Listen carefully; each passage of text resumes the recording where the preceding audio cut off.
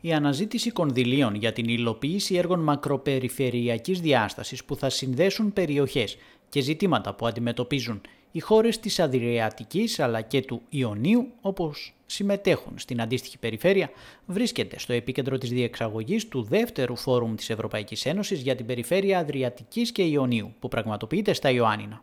Κεντρικό θέμα του φόρουμ η γαλάζια ανάπτυξη, ένας από τους τέσσερις βασικούς πυλώνες στου οποίους στηρίζεται το οικοδόμημα της μακροπεριφέρειας, με την Ελλάδα και το Μαυροβούνιο να έχουν σημαίνοντα ρόλο στην υλοποίησή του. Εκτός από τις δύο προαναφερόμενες χώρες συμμετέχουν ακόμη η Ιταλία, η Κροατία, η Σλοβενία, η Αλβανία, η Βοσνία Ερζεγοβίνη και η Σερβία, που εκπροσωπούνται από υπουργούς αρμόδιους για τις ευρωπαϊκές υποθέσεις. Στα αξιοσημείωτα της πρώτης ημέρας διεξαγωγής του φόρουμ το αποτέλεσμα της κλειστής υπουργικής σύσκεψης, στην οποία αποφασίστηκε η χρηματοδότηση 35 συνολικά έργων και στους τέσσερις πυλώνες, ο κατάλογος των οποίων θα ανακοινωθεί πιθανότατα με τη λήξη του φόρουμ. Στη συνέντευξη που παραχώρησαν από κοινού ο αναπληρωτής Υπουργός Εξωτερικών Γιώργος Κατρούγκαλος, ο αναπληρωτής Υπουργός Οικονομικών Αλέξης Χαρίτσης και η Διευθύντρια της Διεύθυνσης Περιφερειακής Πολιτικής της Ευρωπαϊκής Ένωσης Λένα Άντερσον Πέντς, παρουσίασαν τις βασικές στοχεύσεις του φόρουμ, εκφράζοντας την πεποίθηση ότι η συνεργασία μπορεί να αποτελέσει όχι μόνο ένα μοντέλο καλής πρακτικής σε ευρωπαϊκό επίπεδο, αλλά να λιάνει και αντιδράσεις ή εντάσεις σε άλλα επίπεδα της πολιτικής. Η μία είναι η πολιτική. Σε μια ιδιαίτερα ταραγμένη περιοχή της Ευρώπης προωθεί την πολιτική συνεργασία, την καλύτερη κατανόηση μεταξύ των κρατών και ουσιαστικά αποτελεί ε, μια φάση προετοιμασίας και των κρατών που θέλουν να ενταχθούν στην Ευρωπαϊκή Ένωση. Η κατάσταση στην περιοχή μας, τόσο σε ό,τι αφορά θύματα ανερχόμενου εθνικισμού από ορισμένες πλευρές, όσο και ε, σε ό,τι αφορά την σταθερότητα κρατών της περιοχής μας που δεν είναι μέλη της Ευρωπαϊκής Ένωσης. Αυτό που θέλουμε ως ε, μια χώρα της Ευρωπαϊκής Ένωσης και ως μια χώρα που θέλει να έχει μια σταθερή πολιτική ειρήνης στα Βαλκάνια, είναι να προσπαθούμε να είμαστε σταθεροποιητικός και όχι από σταθεροποιητικός παράγοντας και αυτό είναι μια κοινή συνιστόσα τόσο της πολιτικής όσο και της οικονομικής μας διπλωματίας.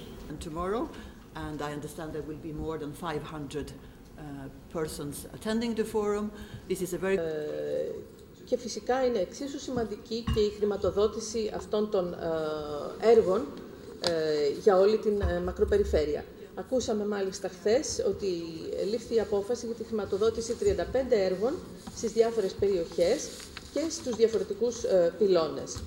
Από την πλευρά του, ο Αλέξης Χαρίτσης τόνισε πως η κυβέρνηση έκανε προσπάθεια για την ολοκλήρωση έργων υποδομής όπως η Ιόνια Οδός και τα λιμάνια Πάτρας και Ιγουμενίτσα. Χαρακτήρισε πρόκληση για την Ευρώπη τη διαχείριση των προσφυγικών και μεταναστευτικών ροών τα επόμενα χρόνια, ενώ απάντησε και σε σχετική ερώτηση για το τμήμα της Ιόνιας Οδού Γιάννενα Κακαβιά, που παραμένει ορφανό μέχρι και σήμερα, τονίζοντας πως υπάρχει κοινή συνεργασία και αναζήτηση με το Υπουργείο Υποδομών και την Περιφέρεια Υπήρου για την εξέβρεση χρηματοδότησης.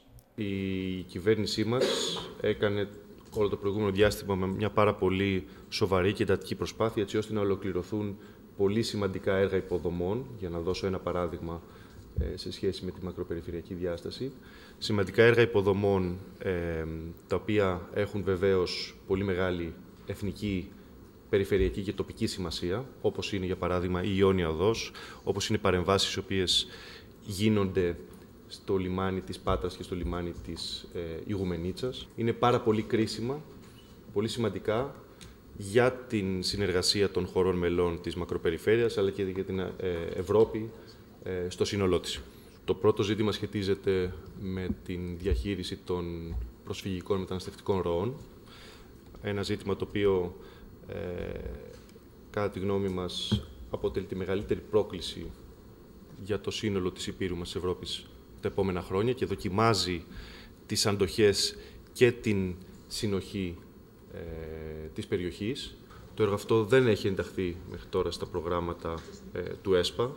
Υπάρχει όμως μια καλή συνεργασία μεταξύ του Υπουργείου μας, του Υπουργείου Υποδομών και της Περιφέρειας Υπήρου για να βρούμε την καλύτερη δυνατή λύση. Θα βρεθεί η λύση για να υλοποιηθεί όντως αυτό το σημαντικό έργο, έτσι ώστε να μπορέσει να συνδεθεί στη συνέχεια και με τα διεθνή δίκτυα, με τα έργα, όπως είπα και πριν, τα οποία υλοποιούνται σε γειτονικές χώρες, ε, έργα υποδομών, δρόμοι σημαντικοί, ε, οι οποίοι θα δημιουργήσουν αυτούς τους διεθνείς διαδρόμους, του οποίους θέλουμε και οι οποίοι θα ενισχύσουν την αναπτυξιακή προοπτική και τη Υπήρου.